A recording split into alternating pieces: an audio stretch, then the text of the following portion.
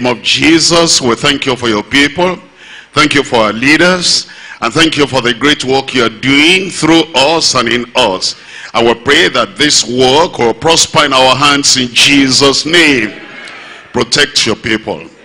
Preserve your people. And we pray, Lord, that everything uh, in our lives will bring glory to you in Jesus' name. Keep on using us. And we'll give the glory to you every time. Thank you, Lord, for the answer. In Jesus' name we pray. Thank you very much. We can sit down. It's wonderful to be together again. We've been looking at uh, David as well as Saul. And we'll be looking at bits and pieces of uh, the life of Saul. And so I want to go through uh, some passages today talking about Saul. And we're starting from a memory verse. You remember the memory verse? Tell me. First Samuel chapter 23 verse, okay, verse 8. And Saul called all the people together to war, to go down to Keilah, to besiege David and his men. Think about that. Saul the king, who was appointed and anointed to protect the nation. And now his war was against David and his men. He called all the people and he called them together from all the tribes. We have an assignment. We have something to do. And he called them to war. Not against the Philistines. Not against the enemies of God. And he called them to war, not to fight a justifiable battle, but she called them to war so that they will besiege David and his men. But Saul did not start that way. Let's see how Saul began. We're looking at 1 Samuel chapter 10. 1 Samuel chapter 10, I'm reading from verse 20. It says in verse 20, And when Saul had caused all the tribes of Israel to come near, the tribe of Benjamin was taken.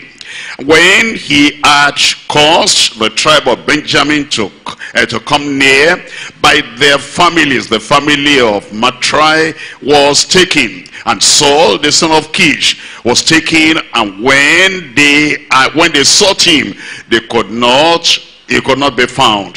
Therefore, they inquired of the Lord further, if the man should yet come thither. And the Lord answered, Behold, he has hid himself among the stuff. And they ran and fetched him thence. And when he stood among the people, he was, tell me, higher than any of the people from his shoulders and upward. And Samuel said unto all the people, See ye him, whom the Lord has chosen that there is none like him among all the people. And all the people shouted and said, God save the king. He had a towering figure above all the rest of the children of Israel. And uh, we're going to, the message tonight is the tragic life of a towering figure the tragic life of a towering figure. How did he eventually lead his life? What happened to him eventually? And how did he fall little by little? Because as you look at this, at the life of Saul, he fell from the height of honor. And he fell to the depths of horror. Sliding slowly, little by little, he never could retrace his steps sliding little by little and going down, going downhill. He never recovered from the first fall. Backsliding is dangerous. Habitual backsliding may become permanent and difficult to break. Because of that, the warning of the Lord is beware. As I said, we're looking at the tragic life of a towering figure. How did it happen? What really happened to him? How did he lead his life? And what were the pitfalls? What can we learn? There are three points we're looking at. Number one, Saul's backsliding through a little disobedience. Saul's backsliding through a little disobedience. And then point number two, sliding backwards towards the lowest deterioration. It deteriorated. It went from bad to worse. And was sliding backwards towards that point of the lowest deterioration. And then point number three, secret battles leading to a lost destiny. Secret battles leading to a lost destiny. We're coming to point number one. Tell me your number one over there.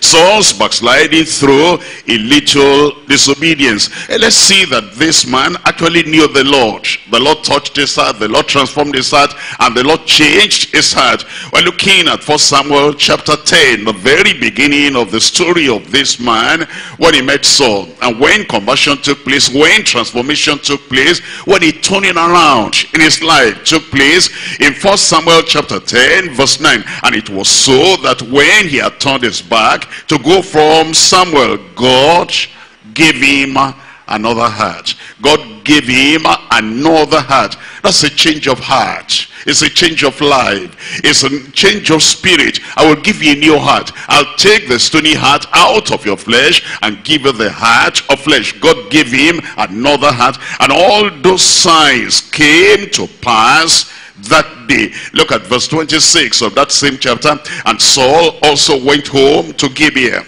And there went with him a band of men whose hearts God had touched. When he was appointed king, there were people that supported him. But look at verse 27. And the children of Belial said, Shall they, how shall this man save us? And they despised him and brought him no presents. Tell me what follows there. But he held his peace. He wouldn't persecute anybody. He was converted. He wouldn't uh, torture anyone. He was a real child of God at that time. And he was humble. And when the people did not support him, he said, that doesn't matter. He held his peace. Some supported, some did not support. How did the fall start? A little sin happened. And that little sin began his journey downward. In chapter 13, I'm looking at verse 8. Chapter 13, we're looking at verse 8. It says in chapter 13, verse 8, And he tarried seven days according to the set time that Samuel had appointed. But Samuel came not to Gilgal, and the people were scattered from him. And Saul said, bring, bring hither a burnt offering to me, and peace offering. And he offered burnt offering. And it came to pass that as soon as he had made an end of offering the burnt offering, behold, Samuel came.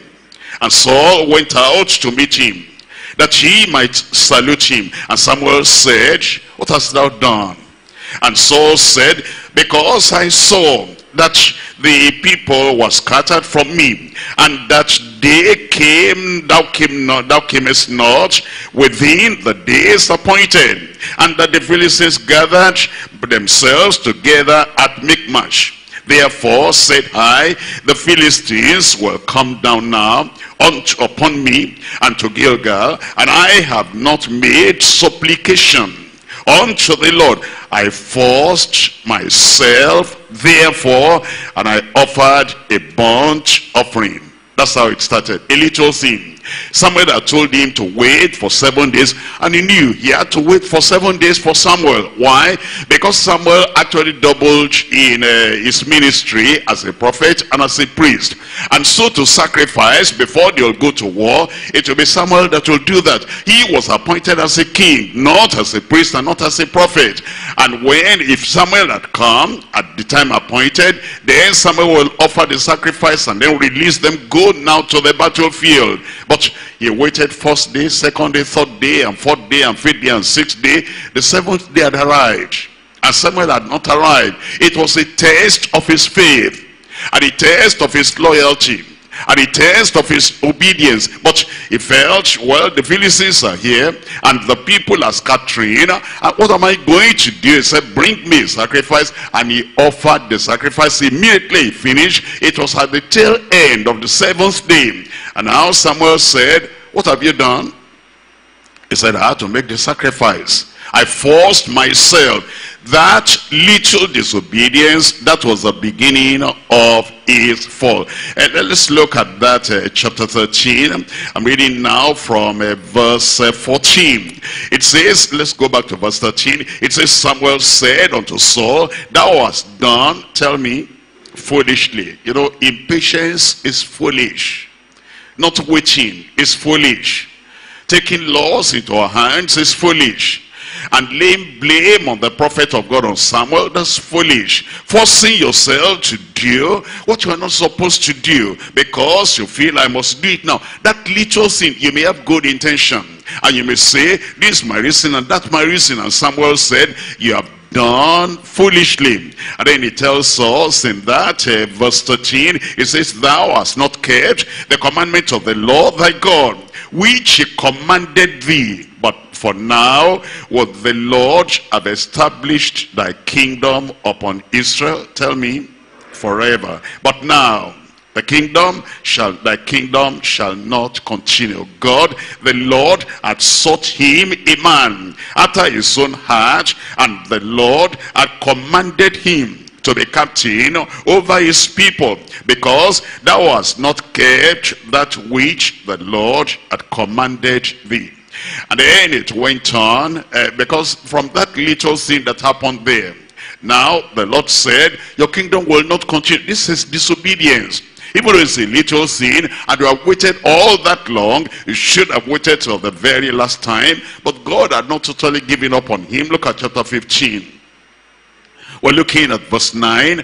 Chapter 15, we're reading from verse 9. But Saul and the people spared Agag and the best of the sheep and of the oxen and of the fatlings and the lambs and all that was good and would not utterly destroy them but everything that was violent refuse they that they destroyed utterly. Then, the, then came the word of the Lord unto Samuel, saying, It repenteth me that I have set up Saul to be king, for he is turned back from following me and has uh, not performed my commandments. And it grieved Samuel, and he cried unto the Lord all the night. And eventually Samuel now to go to Saul and uh, challenge him once again, confront him once again.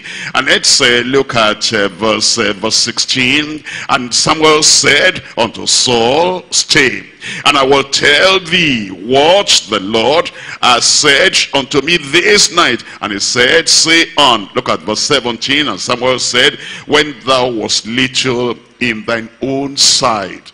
So, there was a time when you were little in your sight, a time you were humble, a time you were lowly, a time you were submissive, and at that time uh, was thou not made the head of the tribes of Israel, and the Lord anointed thee king over Israel. And the Lord sent thee on an errand, on a journey, and said, Go, and utterly destroy the sinners, the Amalekites, and fight against them until they be consumed. Therefore then, wherefore then, didst thou not obey the voice of the Lord, but didst fly upon the spoil, and didst evil in the sight of the Lord. You know the story, he made an excuse. He said, uh, we did that for a purpose. We have a goal. We have a, if the, the motive is right, even though you are thinking the action is wrong, wanted to actually sacrifice that to the Lord your God. Look at verse 22. And Samuel said, as the Lord has great delight in burnt offering and sacrifices, as in obeying the voice of the Lord, behold, to obey is better than sacrifice, and to hearken than the fat of rams. Look at your life. And see the little, little things that happen. Cutting corners, cutting some edges, and taking some steps, and going this way, and going that way. Adding this and subtracting that. And then we have a good intention. The intention is so that, uh, you know, this will move and things will go on. It is so that we'll be able to keep the people. That's why we cut those corners. And it says in verse 23, for rebellion is at the sin of witchcraft and stubbornness as iniquity and idolatry because thou hast rejected the word of the Lord. Tell me the rest. He also has rejected thee from being king. That's why it started. Little, little things that happened in his life and those little things eventually generated into uh, the big uh, cesspool of sin and iniquity we eventually find. We're coming now to chapter 22 and see what eventually happened to this man. Uh, no more little, little things anymore uh, because uh, little drops of water make a mighty ocean. In chapter 22 of 1 Samuel verse 9, uh, then answered Doeg the Edomite, which was set over the servants of Saul. Hold on, hold on. It edomite, eh, Doeg, an Edomite, coming from Edom. That's another nation. That's a foreign nation. That's an enemy nation. That belongs to the territory of Esau. And Esau was an avowed enemy of Jacob until Esau died. And the Edomites were avowed enemies of uh, Israel all through their generations. Even if you read Obadiah and read the latter part of the Old Testament, they were enemies of the children of Israel. And he chose somebody from there to be the captain of the army that he raised up. And then it says, uh, uh, Edom, this Doeg said, I saw the son of Jesse coming to Nob. Uh, you understand that language? Not, not that I saw David. He wouldn't even mention his name. He hated that name. It was a despicable sin. And then he, said, I saw the son of Jesse, son of Jesse, coming over there and uh, to Nob and Ahimelech, uh, the son, he came to Ahimelech, goes to Ahitub. And then it goes on, and eventually you see what he did. We're looking at uh, verse uh, at verse 18. And the king, that Saul, said to Doeg, Turn thou and fall upon the priest. What do you think he'll do? Of course, of course, an Edomite. Of course, coming from Edom of course, an avowed enemy of the children of Israel. They hated Israel. They hated the priesthood. They hated the ministry of the prophet. And he hated everything, the plan of God in Israel. That's what he will do. And he's the kind of person that Saul eventually chose from a little fall, a little disobedience, a little disloyalty, and a little going as a little deviation. Now he's come to a terrible sin. And it says, and the Edomite turned, and he fell upon the priest and slew on that day, first call and five persons that uh, did wear a linen ephod and, Nob, the city of the priest, smote he with the edge of the sword, both men and women, children and suckling, oxen and asses, and, the, and sheep with the edge of the sword. Go destroy the Amalekites, the enemies. No, he won't do that. But now the priest of the Lord, he wiped out every one of them. Let's come to chapter 23, the chapter we're looking at today. In chapter 23, I'm reading from verse 14. Chapter 23, verse 14. And David abode in the wilderness uh, in strongholds and remained in the mountain of the wilderness of Ziph. And Saul sought him Tell me. Every day. Saul sought him every day. But he was appointed to be on the throne. No, it's not sitting on the throne. He was appointed to defend the nation of Israel. No, he's not doing that. He was appointed to fight the battles of the Lord. No, he had no time to do that. He was appointed to take care of his own family, of his own life, and of the nation, even of his tribe, the Benjamites. No time to do that. The only everything he was planning is just to get rid of one man get rid of one. And this man was not a threat to his kingdom. This man will not touch him. But the full-time job of this person now was just to be after David. And it says, and Saul sought him every day, but God did not but God delivered him not unto his hand. Look up for a moment. If, if you do something a day, a week, a month, and there's no success, I think you'll sit back. I think you'll think, uh, well, I'm trying this, I'm doing this, and there's no success. Shouldn't I change? Shouldn't I think about my life and think about my future? But you know, there are people like that. They do something for one month, they do it for three months, they do it for one year, and the thing is not succeeding. And they should have recollected that God said through Samuel, he has sought for another person. He has appointed that person. Saul, don't you understand who God is? Don't you know that if he has appointed somebody, no matter how you try, you will fail. How does a man keep on knocking his head against the wall? He is the one having headache and the wall is still standing there and still is foolish enough to keep on knocking his head upon the wall. If you're on a project and this project, you know, this is not of God. You're seeking this man, you're running after this man and the Lord is always protecting him, always preserving him. And the more you try to destroy him, the more he's developing and the more he's going stronger and the more he's doing well. And you still keep on. That's what backsliding does. It blindfolds people. It deadens their conscience. It deadens, their uh, thinking faculty that they will not know what to do. We're talking about a soul. It's, it's a great fall started with a little failure. A little fall a little disobedience watch against that little temptation because it may lead to a catastrophe eventually. The Bible talks of little things. Number one, little foxes. Number two, little filthiness. Number three, little folly, foolishness.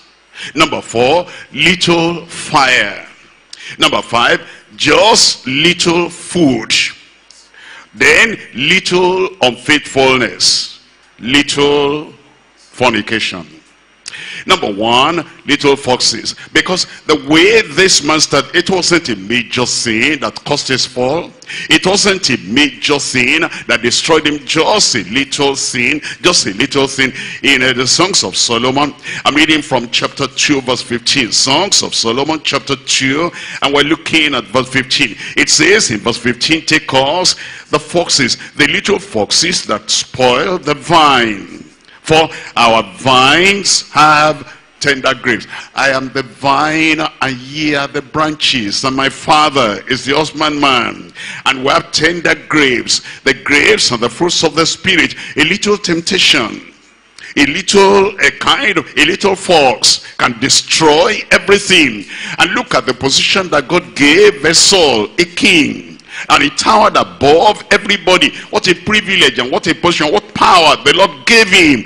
And what possibilities that the kingdom could have continued forever from generation to generation. He lost everything because of that little thing. Be careful, beware, watch a little the little foxes little filthiness i'm looking at um, ecclesiastes chapter 10 verse 1 dead flies cause the ointment of the apothecary to send forth a stinking savor uh, that word apothecary there, that's a pharmaceutical word. It's talking about uh, when those uh, pharmacists mix all those things to treat somebody that will become medicine.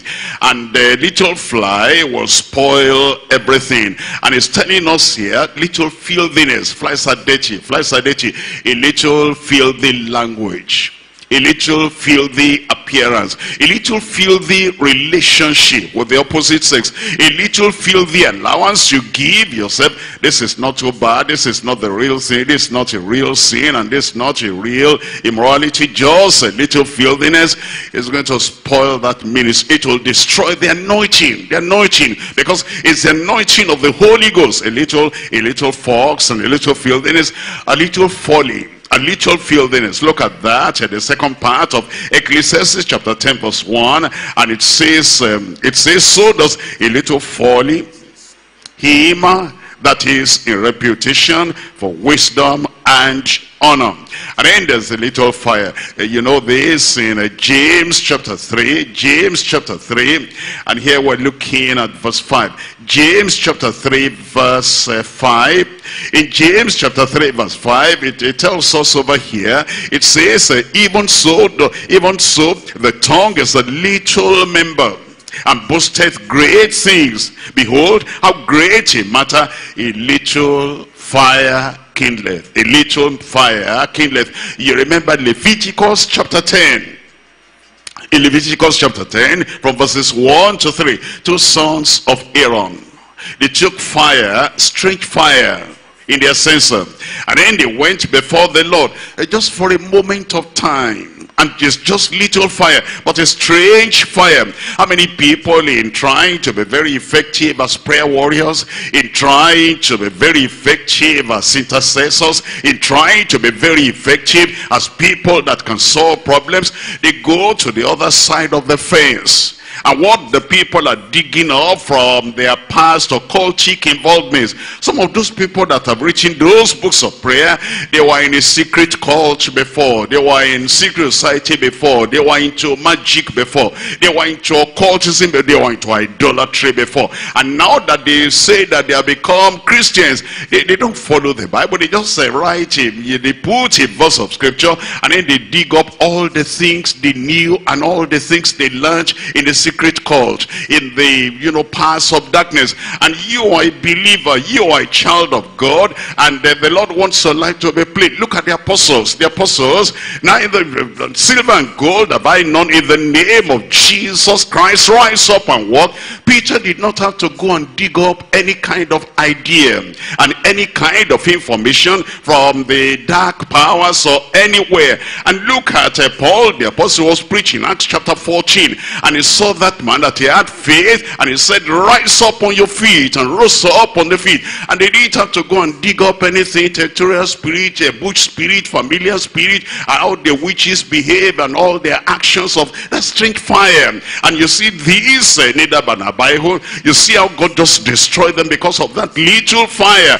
Look at Paul and Silas they sang praises unto God and then the prison doors were shaking the foundations were shaking and they were told that all their bands were loosed and they were totally free and there wasn't any kind of secret gimmick that anybody you know played. It's just the plain thing and there are people they're looking for power. They're looking for effectiveness. And they're looking for you know if i have this and then they go they may not go to their convention or their camp or whatever but they buy their books. And they hide all those books. And when they say now we're going to pray and tonight is going to be a great time of prayer and night vigil and they slip that book or booklet under their Bible and while the people are closing their eyes they're reading from that thing. They say we'll break down this thing. We'll do Jericho something. And these walls will fall today. And they read out of that thing that those occultic people who say they are converted what they read strange fire. And you bring that here and the people are jumping. Then you see somebody there because tonight is uh, you know prayer warrior night. And they will march here march there march here why are you doing that this is not Jericho are you Jericho I said, are you Jericho people? No. This is the house of God. Did you see that in Jesus Christ? He just came to the grave of Lazarus and said, Father, I know that you always hear me. But because of these people, eh, there was no gyration. There was no spinning. And there was no magic, nothing. It's just the name, the power in the name of Jesus. I know you always hear me, but because of these people, that's why I'm saying what I'm saying. And then after I said, Lazarus, tell me, come forth. Did he come forth?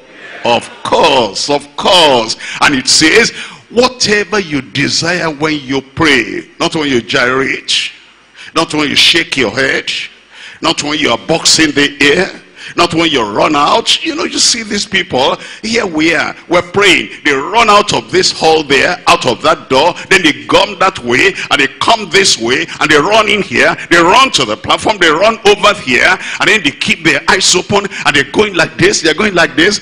And you're watching. Say, what's, what's wrong with this man? What's he doing? He's praying. That's a prayer warrior, effective man. That's strange fire. And what's happening? The blind eyes are not opening The lame, they are not walking. And the people that came last week, I have this, I have this, they come this week again, and then you pray for them again. And the people that had that challenge, that time, they still come, nothing is happening. But it is just this strange fire. And the people they're looking for, go back to the Bible. Understand that you take the shield of faith, which shall be able to quench all the fiery darts of the wicked one. Because whatsoever the word is in your mouth. Behold, I give unto you power over the power of the enemy. And you'll tread on serpents and scorpions, and nothing shall by enemies hurt you. Nothing will hurt you. Eh, you know, there's some people, they carry bottles of water about. And then you say, what are you doing with that? Holy water in that plastic bottle. Uh -uh.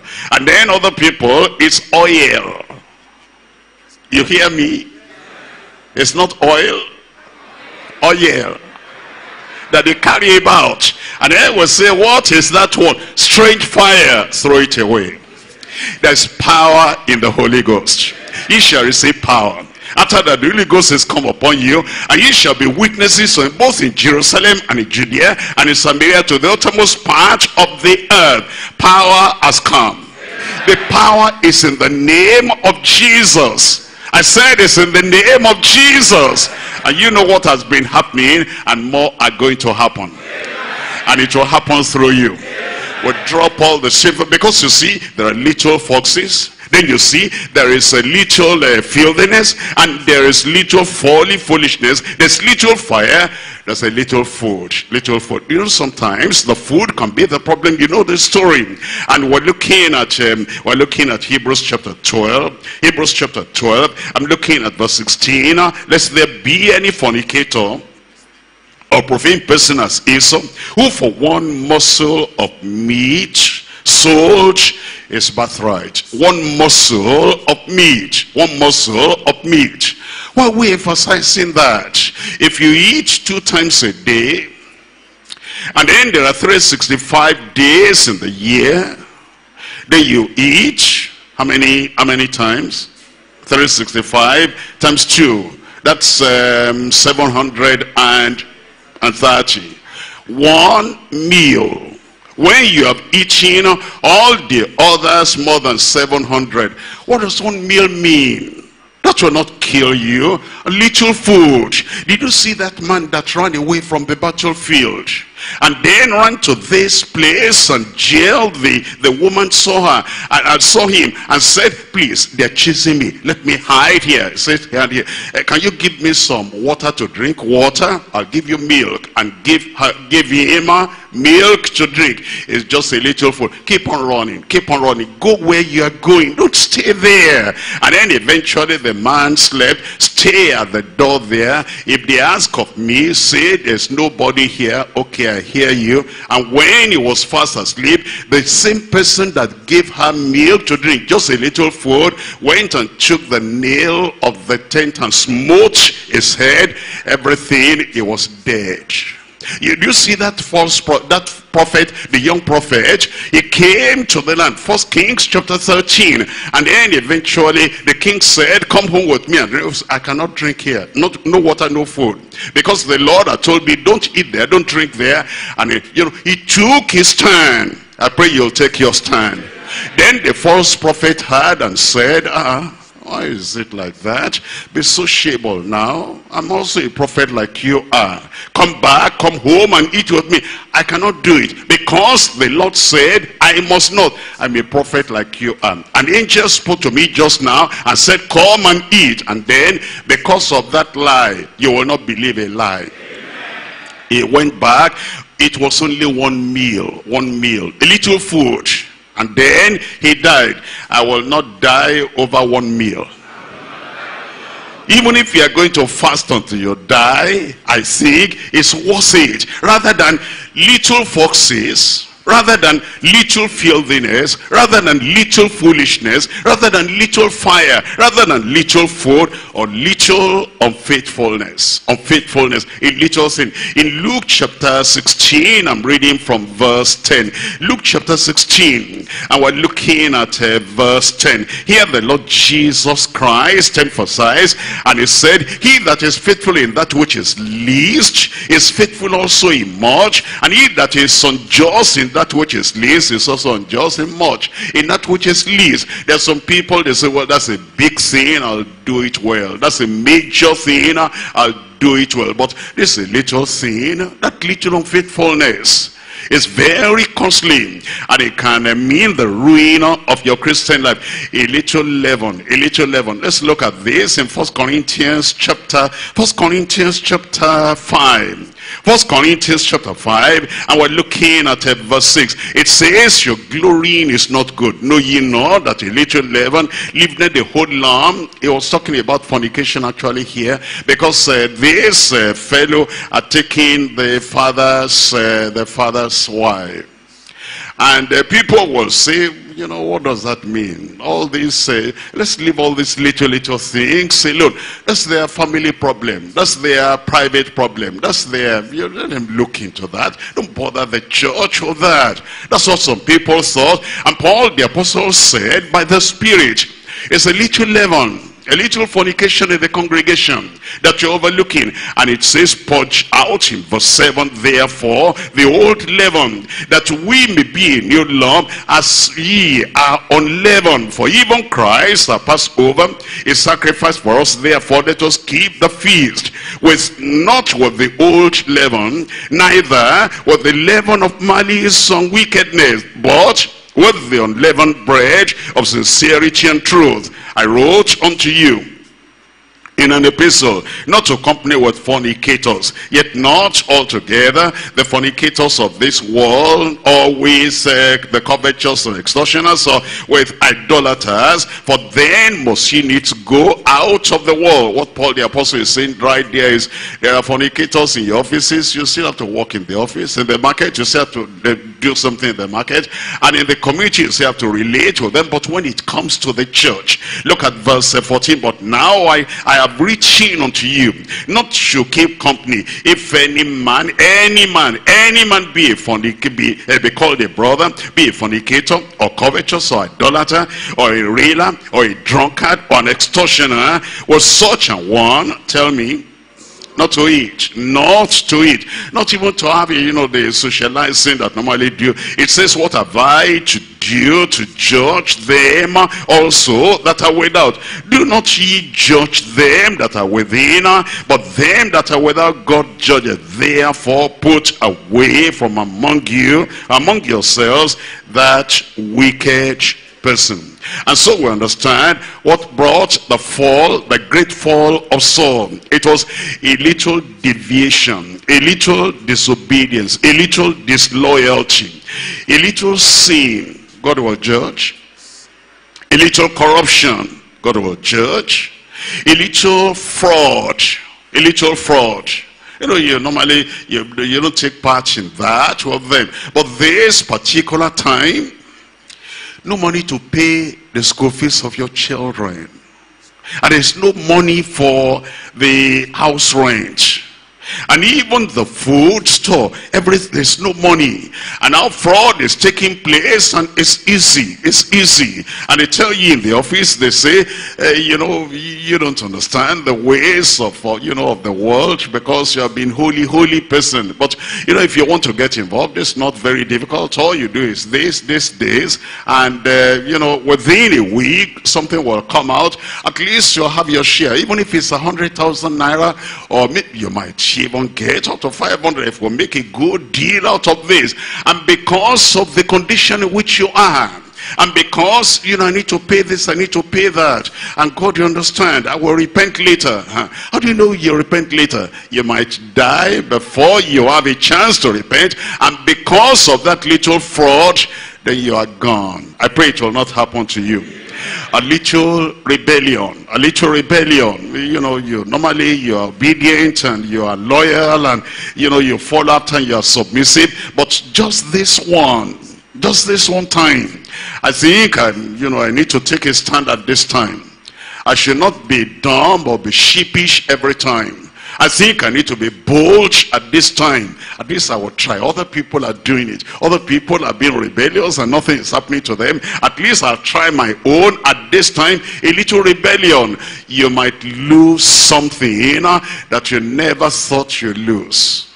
Lifetime ministry and a great sin and the sin you have fasted for and the sin you have labored for and the sin you have endured for and the sin where God is going to say that's my man there that's my daughter there. Get that done. You might lose that thing that little rebellion a little deviation from sound doctrine.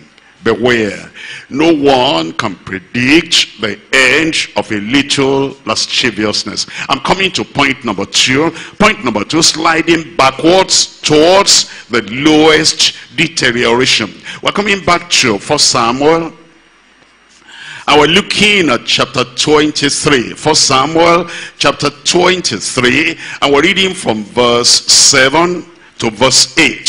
First Samuel chapter 23, looking at verse 7, and it, uh, and it was told Saul that David was come to Keilah.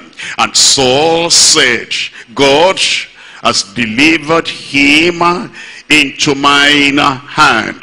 Did you hear that? I said, did you hear that? Was that God? Did God deliver David into his hand?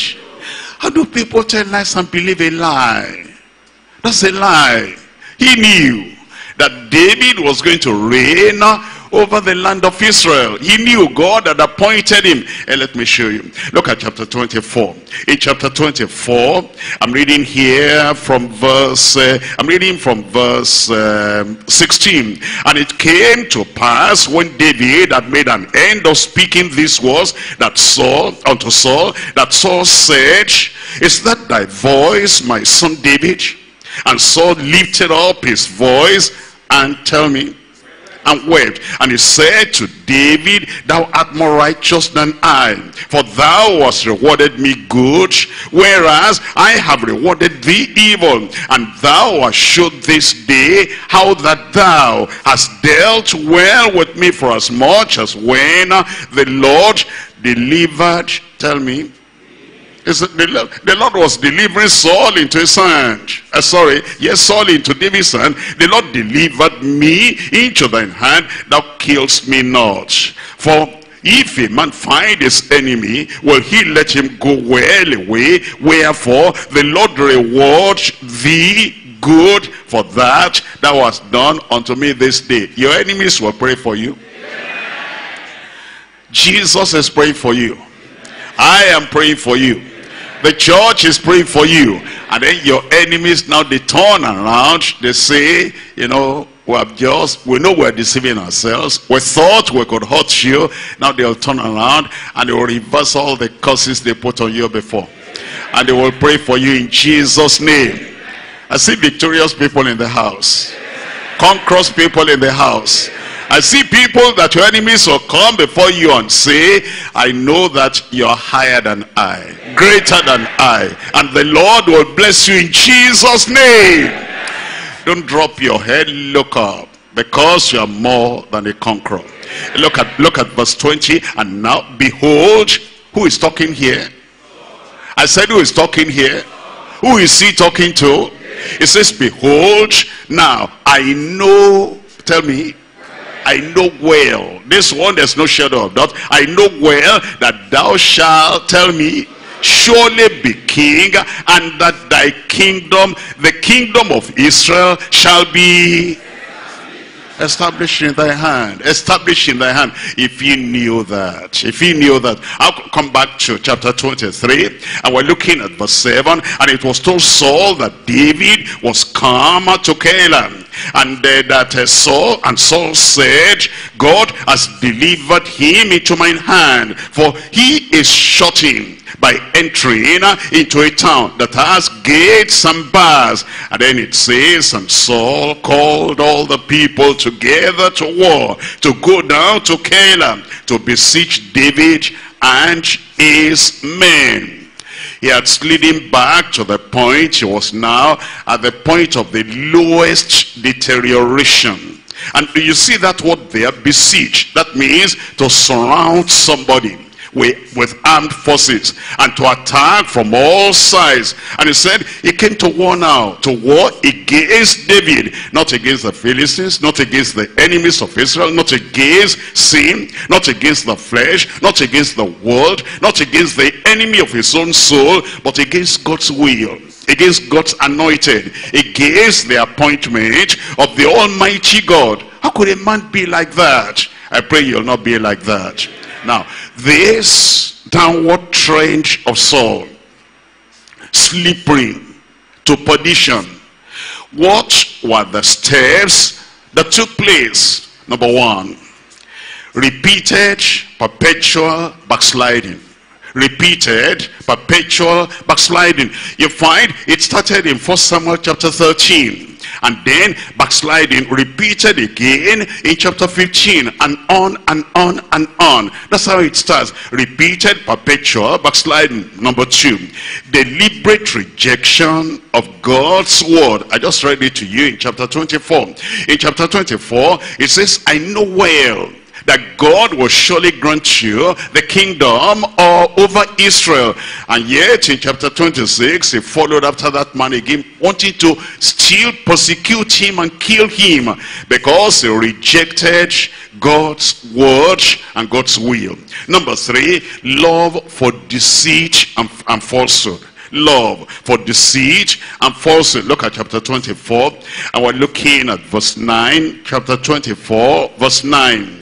It says, and uh, David, David said to Saul, Wherefore hearest thou men's words, saying, Behold, David seeketh thy hurt. That was false. That was deception. He deceived himself. He had what he wanted to hear what he wanted to know. That's what he heard.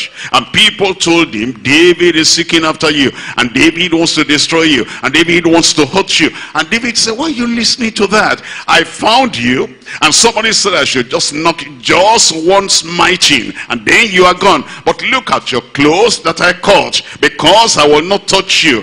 He chose to believe a lie you see, when you repeat something false yourself over and over and over, eventually you believe it. It was terrible for him. Number four, love for deceit. Okay. Number three, love for deceit and falsehood. Number four, denial of God's anointed. Denial of God's anointed.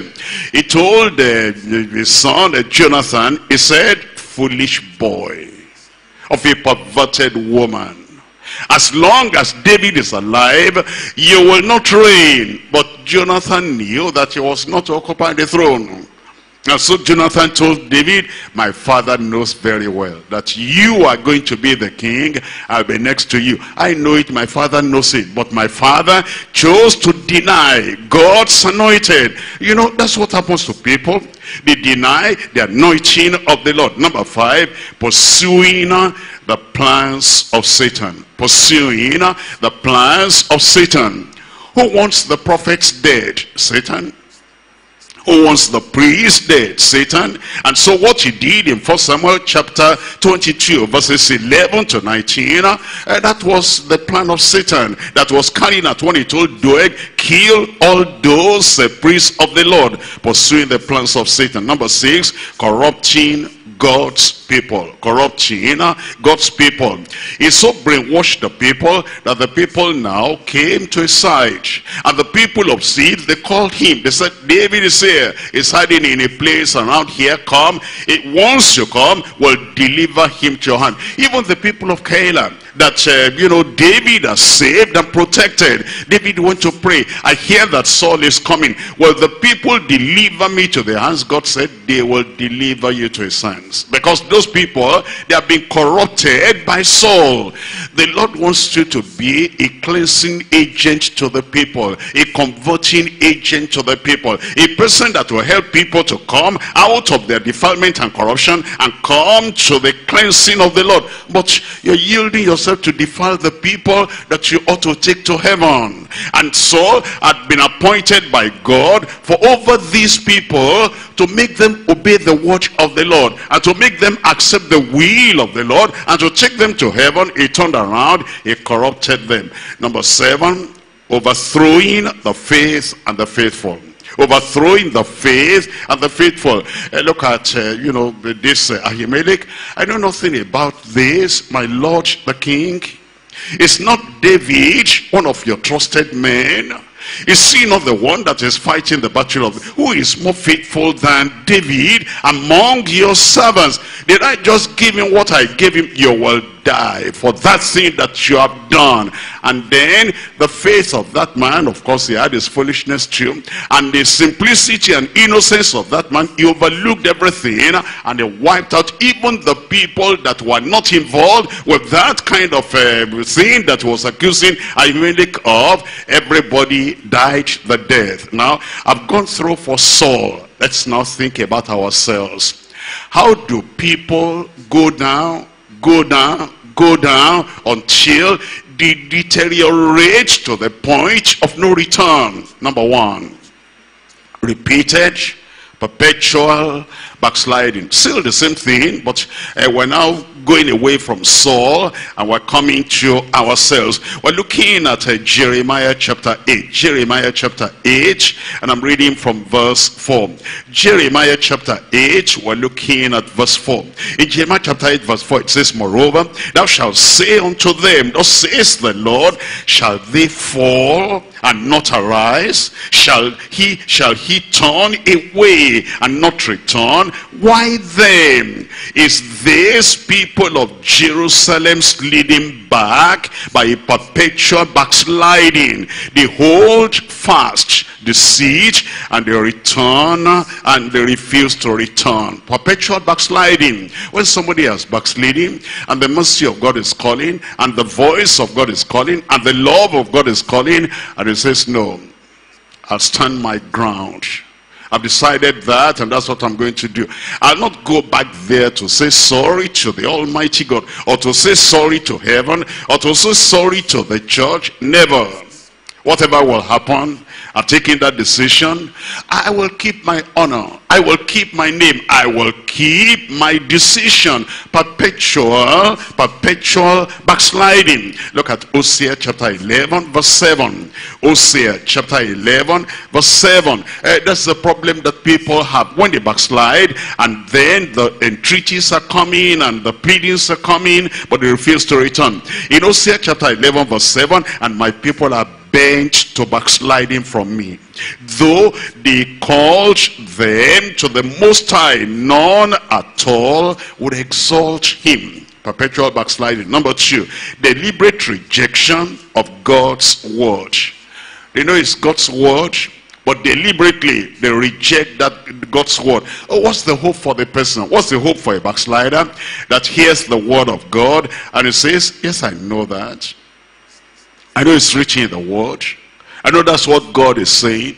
I know that's sound doctrine. But I've made up my mind that this is what I'm going to do. Hey, my friend, you call yourself a believer? That person is an unbeliever. Be not unequally yoked together with an unbeliever. Sir, I can tell you where that verse is in the Bible. I can tell you the meaning. I know what you say.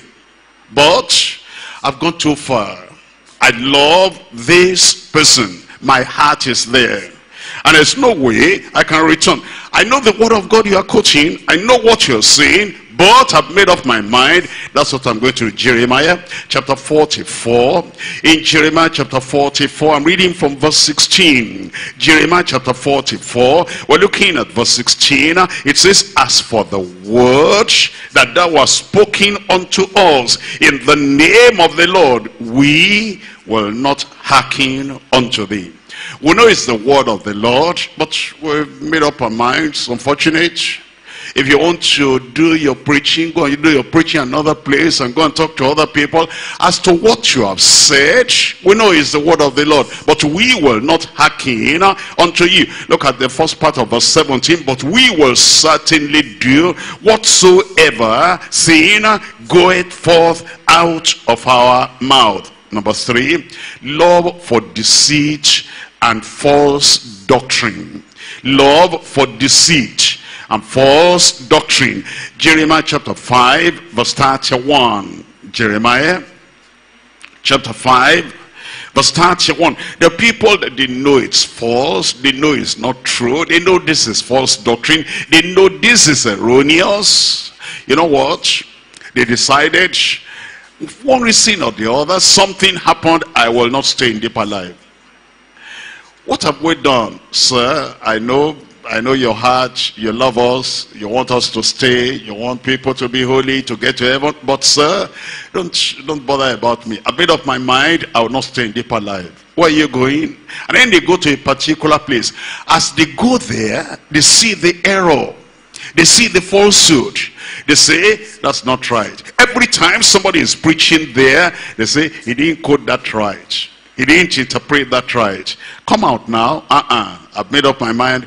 As for that place, I'll not go back there. As for this place, I know things that are wrong there. I can teach the people who are teaching here. I can correct the people who are doing something wrong here. But I will stay here.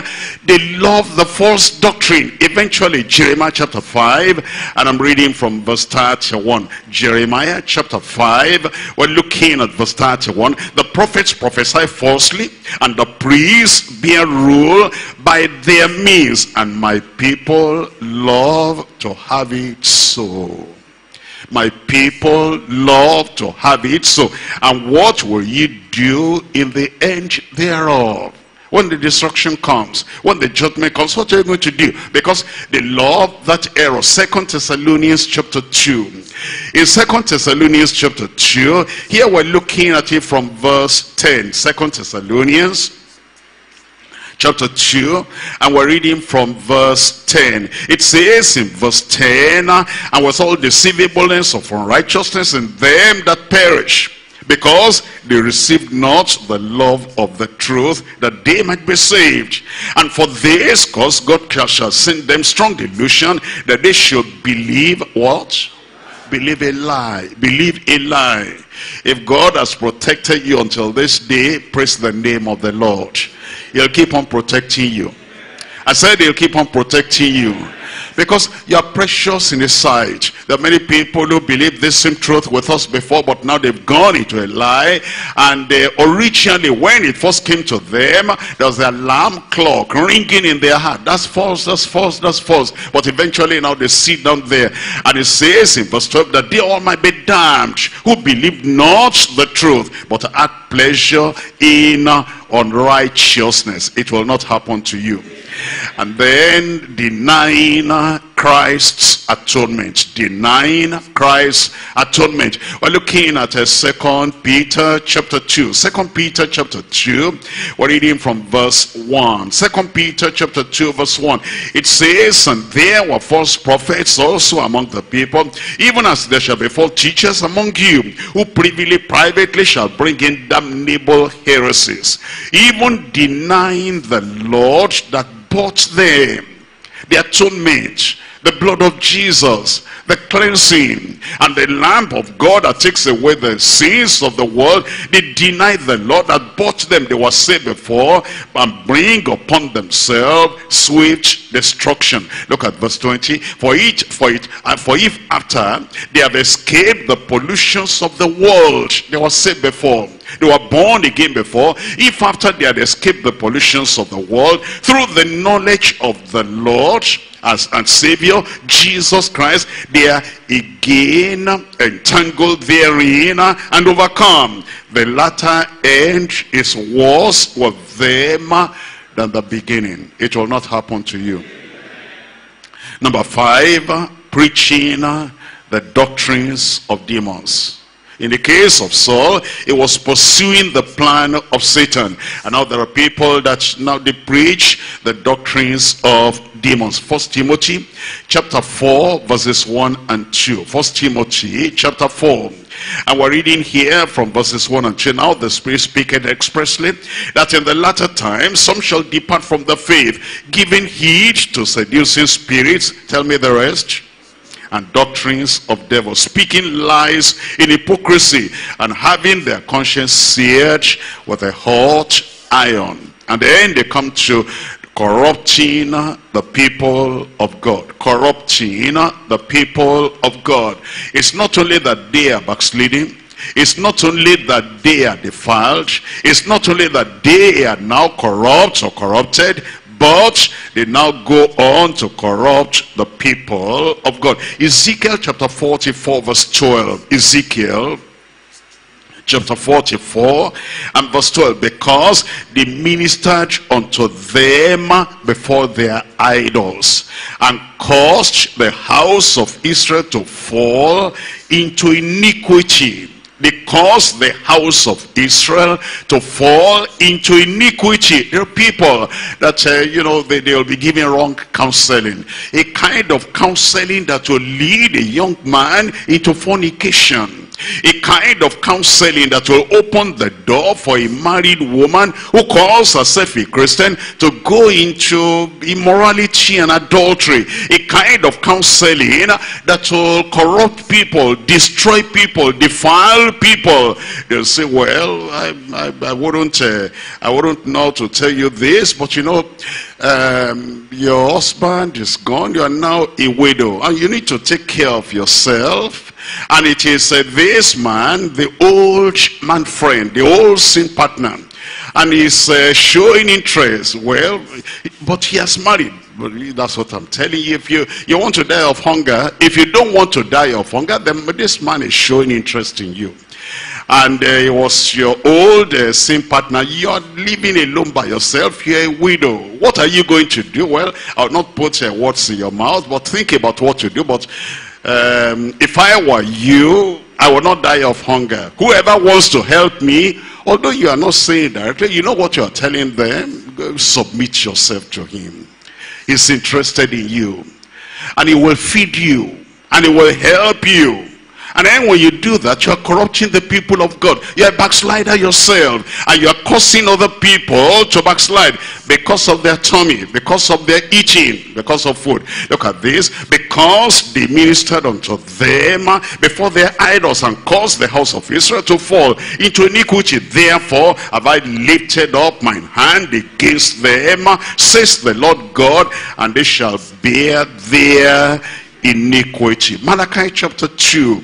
In Malachi chapter 2, we're looking at verse 6. Malachi chapter 2, and we're reading from verse 6. In verse 6 it says, eh, The law of truth was in his mouth and iniquity was not found in his lips. He walked with me in peace and equity and did turn many from iniquity. For the priest's lips should keep knowledge and they should seek the law at his mouth. For he is a messenger of the Lord. Look at verse 8. But, but ye have departed out of the way.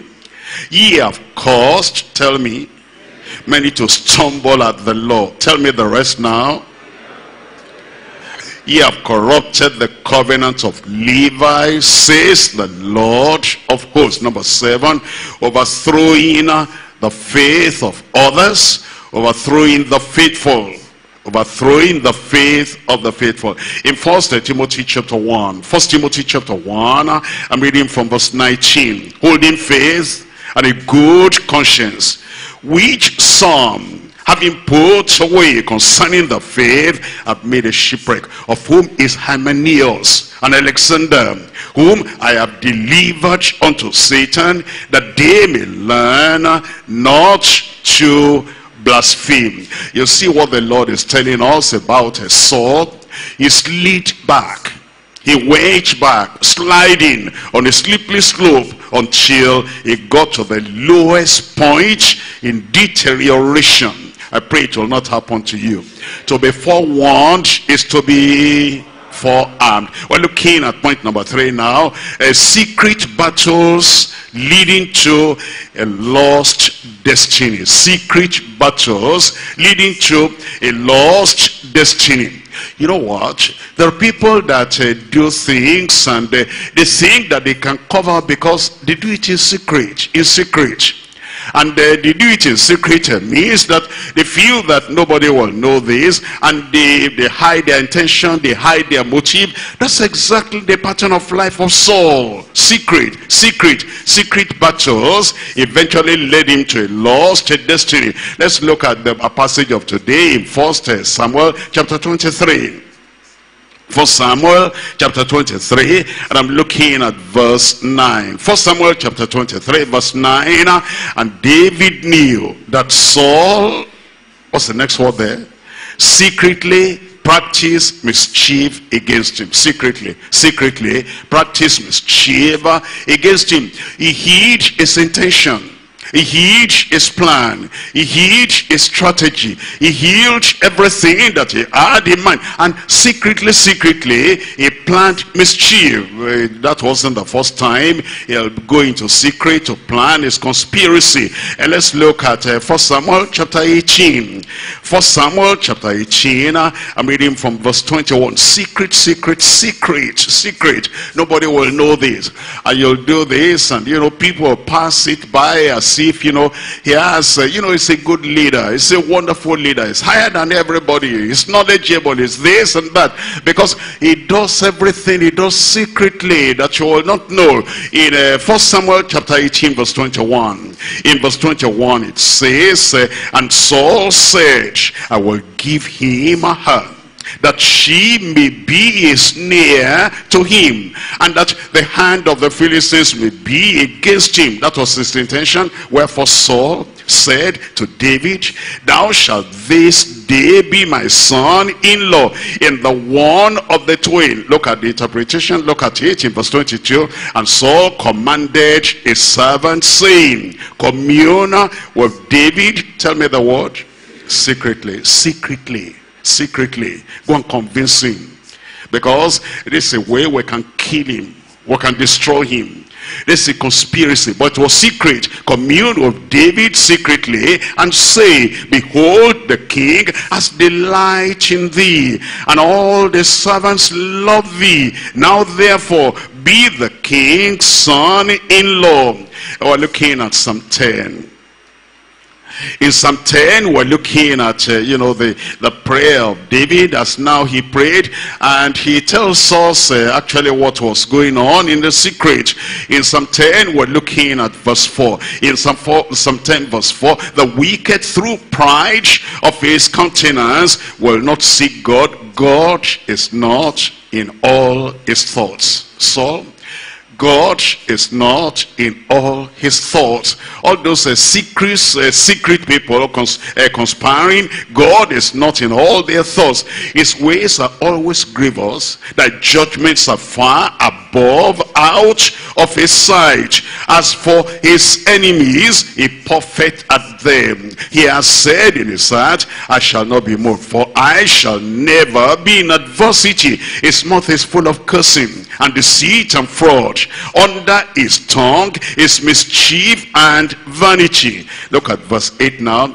He seated in the locking places of the villages, in the secret places. Does he murder the innocent? His eyes are privily set against the poor.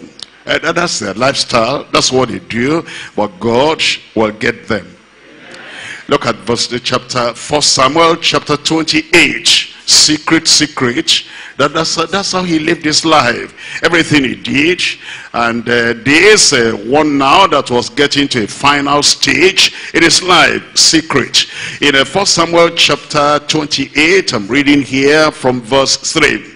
It says that now Samuel was dead and all Israel had lamented him and buried him in Ramah, even in his own city. And Saul had put away those that had familiar spirits and the wizards out of the land. And uh, the, the, the Philistines gathered themselves together and came and pitched in Shunem. And Saul gathered all Israel together and they preached in Gilboa. And uh, when Saul saw the host of the Philistines, he was afraid. And his heart trembled. And when Saul inquired of the Lord, inquired of the Lord at this time now the Lord answered him not neither by dream nor by Urim nor by prophets then said Saul unto his servants seek me a woman that has what a familiar spirit that I may go to her and inquire of her. And the servant said unto him, Behold, there's a woman that has a familiar spirit at Endor. And Saul, and Saul, secret, secret, secret. Yes, he has perfected the uh, science, the art of secrecy. Disguised himself. You know, if you're like that, you'll kill yourself. If you're like that, you'll go to hell because you don't want people to know what you're doing. And you have perfected that art. You have perfected that way of, uh, you know, doing whatever it is. And nobody will detect because you know about secrecy.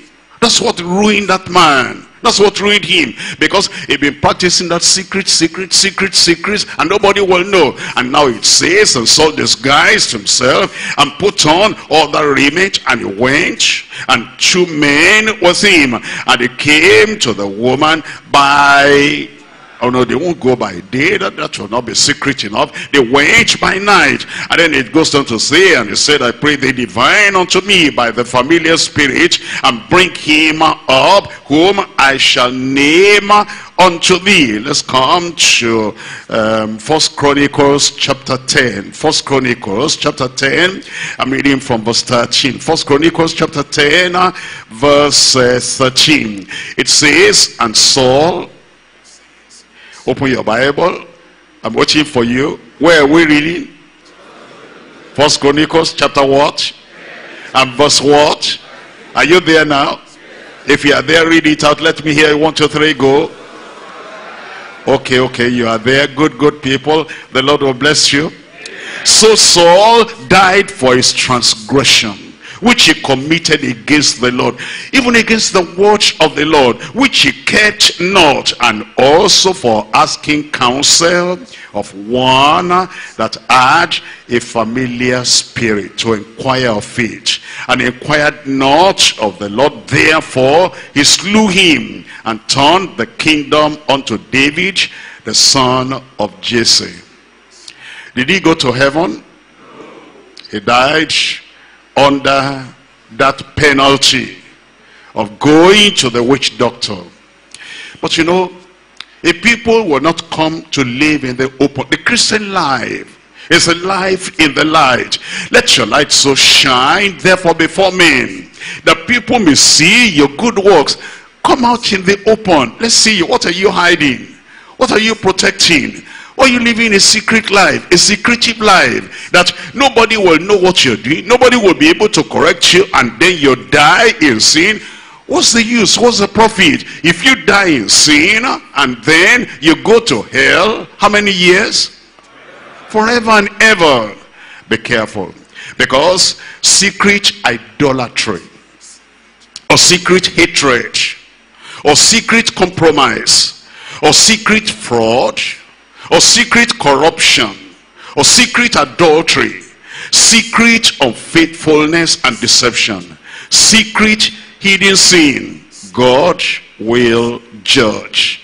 Today is the day of God's cleansing and God's mercy. Don't wait until the final day. come out of the company of Saul and come to the Lord's side. And the Lord is saying, if you will call upon him, all those secret, secret things, let the Lord cleanse them and be totally free. And then from today, you'll not be sliding back and sliding down and sliding to hell. The Lord will rescue every one of us today in Jesus' name. Ecclesiastes, Ecclesiastes chapter 12, Ecclesiastes chapter 12, verse 13. Let us now hear the conclusion of the whole matter. Fear God and keep his commandments. For this is the whole duty of man. For God shall bring every work into judgment with every secret thing, whether it be good or whether it be evil. Judgment is coming. But mercy is available today. Let's rise up and talk to the Lord in prayer. That the Lord will rescue us the Lord will transform us and the Lord will not allow all these little, little termites and all these little, little follies, all these little, little foxes to destroy us. The Lord died for you, died for me on the cross of Calvary. Heaven is yours. There's a place in heaven for you. You will not miss it in Jesus' name.